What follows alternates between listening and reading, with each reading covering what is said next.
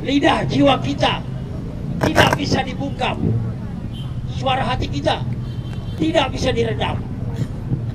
Dan kita semua ingat apa yang pernah dikatakan oleh Presiden Republik Indonesia, Bapak Joko Widodo, bahwa pengungkapan kebenaran dan penyelesaian pelanggaran HAM masa lalu hanya bisa dilaksanakan kalau kita mempunyai keberanian, mempunyai nyali untuk mencari terobosan di bidang judicial maupun non judicial. Apakah jenis keberanian itu? Nyali semacam apa yang dibutuhkan? Bagaimana mungkin kita bicara tentang nyali?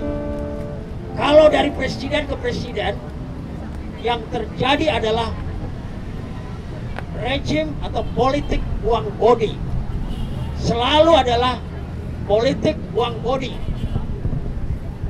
yaitu menerima kasus pelanggaran HAM masa lalu bagaikan bola panas dilempar dari Komnas HAM ke Kejaksaan Agung ke DPR dan ke lembaga-lembaga lain. Terus seperti itu. Tidak ada yang merasa bertanggung jawab atau wenang. Meskipun sudah ada undang-undang nomor 26 meskipun sudah ada regulasi yang menyiagakan. Sampai hari ini tidak terjadi pengadilan hak-hak asasi ad hoc yang sehat mengapa demikian kalau kita runut-runut nampaknya dari rejim ke rejim seakan-akan mempunyai kemauan politik. Hanya saja kemauan politik itu kalau masih disandarkan pada yang namanya politik neokapitalisme mana gerakan kapitalisme yang bergerak bagaikan panser raksasa menabrak segala-galanya. Di situ pilar-pilarnya atau rodanya ada industrialisasi, ada militerisme, dan ada pengendalian pengawasan. Di mana kekuasaan ekonomi menyandra kekuasaan birokrasi, menyandra kekuasaan lembaga-lembaga yudikatif, DPR, MPR, bahkan menguasai lembaga-lembaga agama. Bagaimana mungkin seorang presiden bisa mengambil keputusan yang berani melakukan terobosan kalau kondisi seluruh upaya proyek-proyek besar untuk pembangunan infrastruktur orientasinya adalah keuntungan sebesar-besarnya di mana yang kaya bertambah kaya yang miskin bertambah miskin orang kecil yang selalu jadi korban. Sistem pembangunan yang mengutamakan nilai keuntungan di atas nilai manfaat. Bukan profit seharusnya, melainkan benefit, manfaat sejauh mana seluruh upaya ini bermanfaat untuk bertambahnya kemanusiaan yang adil dan beradab di negeri ini. Itu prinsip di dalam kita mengupayakan keadilan dan kebenaran di negeri ini. Pengungkapan kebenaran dan penyelesaian pelanggaran HAM masa lalu bukan tujuannya untuk menghukum, sekedar menghukum para pelaku pelanggaran hak asasi manusia. Melainkan untuk membangun secara kreatif satu sistem yang benar agar pelanggaran-pelanggaran hak asasi itu tidak terjadi lagi. Mesin pembantaian, mesin pembunuhan itu harus diubah. Operatornya pun harus berganti.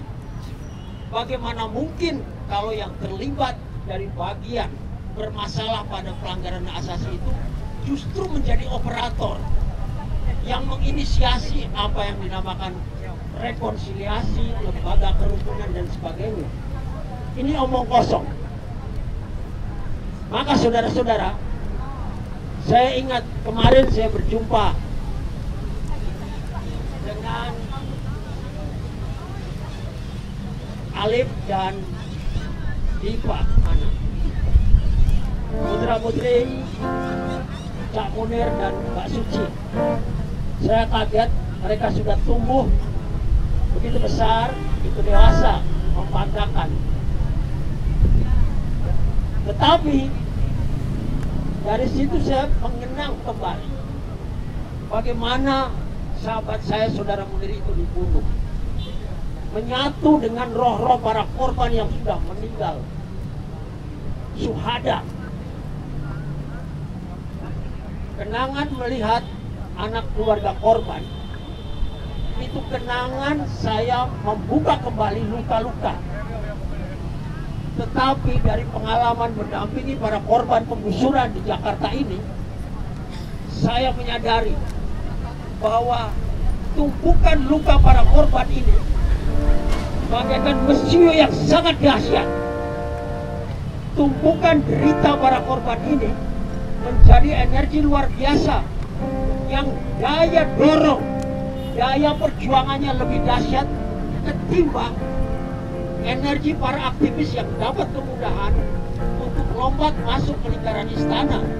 Para aktivis yang dapat kemudahan untuk naik pangkat, yang dapat kemewahan uang dan sebagainya itu justru akan membuat orang jadi manja dan membuat kekuasaan itu meninabobokan. Tetapi keringat dan darah para korban adalah energi perjuangan yang tidak bisa dikalahkan. Perjuangan korban tak mungkin dikalahkan kalau terus saja negara ini membiarkan tetes-tetes darah itu terus berlangsung. Terima kasih. Terima kasih, Bung Sandiawan.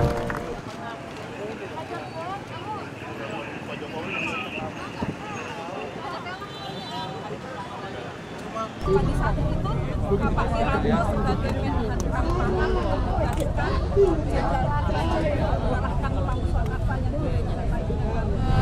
dapat tugas dari sekolah lagi tentang hak asasi manusia.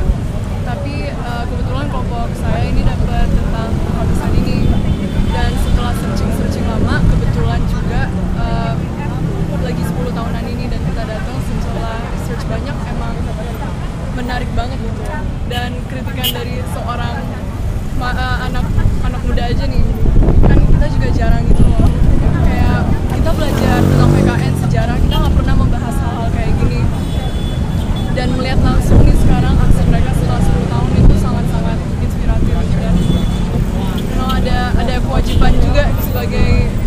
anak Indonesia untuk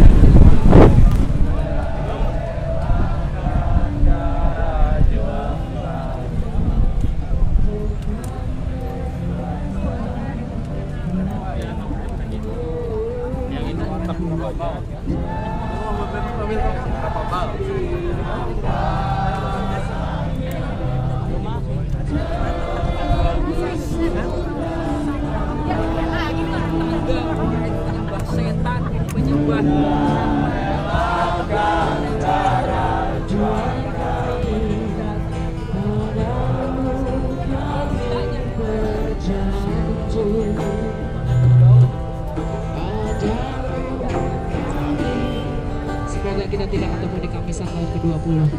Terima kasih.